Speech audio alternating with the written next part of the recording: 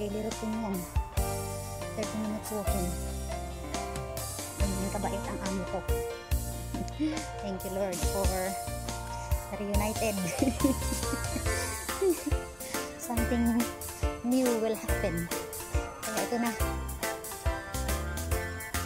Exercise. Ikat na ako dito sa buong building. Kung kunwari akin to. Tingin lang pala.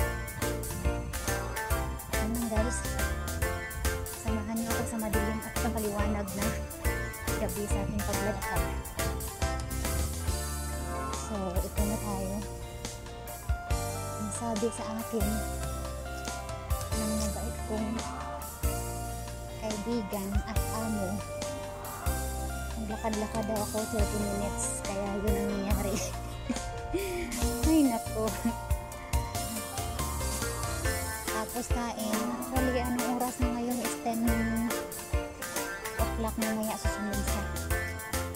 Kasi nakabihis na siya. At nakasuot ng sakso ng kasi bababa din siya at mag lakad-lakad. Ayun. So, 30 minutes ito. Pero kailangan nakamas kasi pag dumaan ako doon may gwardiya. Pero I think okay lang din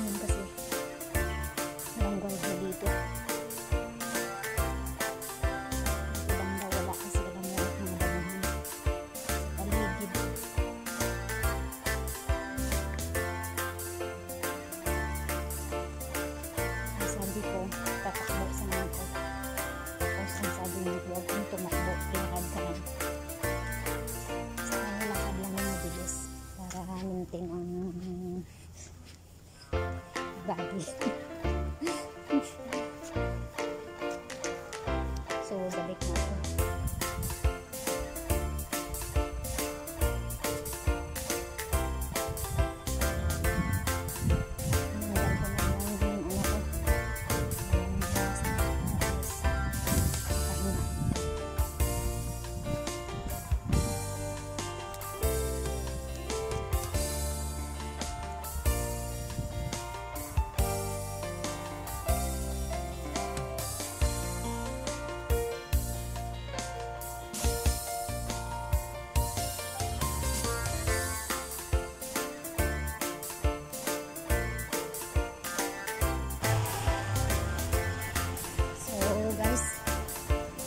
first routine ko. Day 1 pa lang to. Kay bukas pa.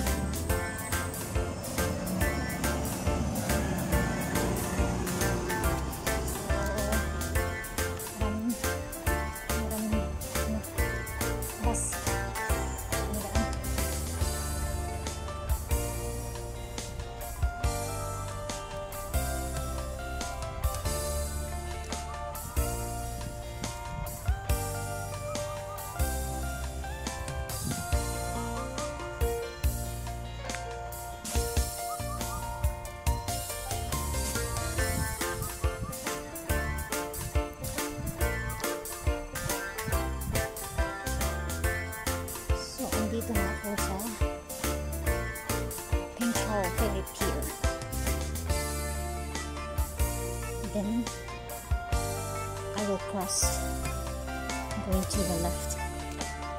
Next. Cross and then left. So, wala na yun. Yung bahay. Yung workplace ko sa third phase. Third and fourth.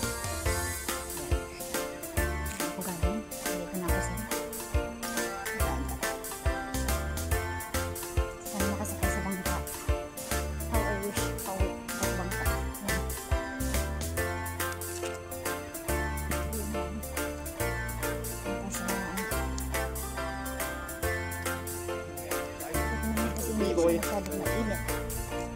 Ah, maganda ang panahon. So yun na ang ano, paalis na ako lagi. Baka ako ang hinihintay. Dami lang ako sa inyo.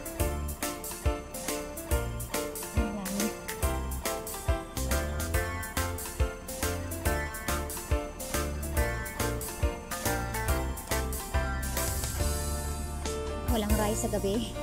Vegetable lang. Then bago kumain ng vegetables at saka fish at saka chicken, kumain muna ng prutas uminom ng gatas. Yun. Sa tanghali, dapat may rice ako. Then, uh, sa umaga, fruits at saka water oats. Yun. Bus dito, double decker. May taas. Ito sa baba, tapos may taas.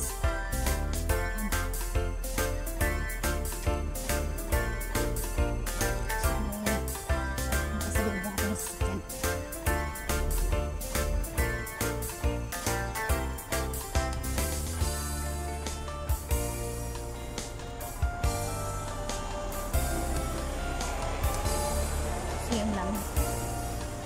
Tapos, andun na. Pero kapag kaninang galing. So, yun lang ang ginawa ko. Kailangan ko talaga ano, exercise. Kailangan natin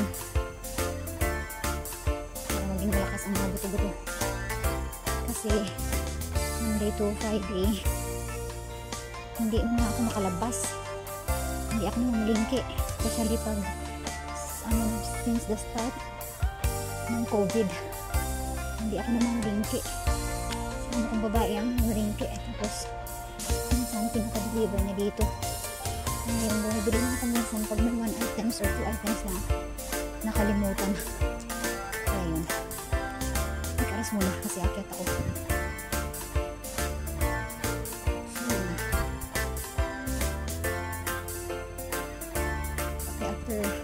I'm rin. Uwi.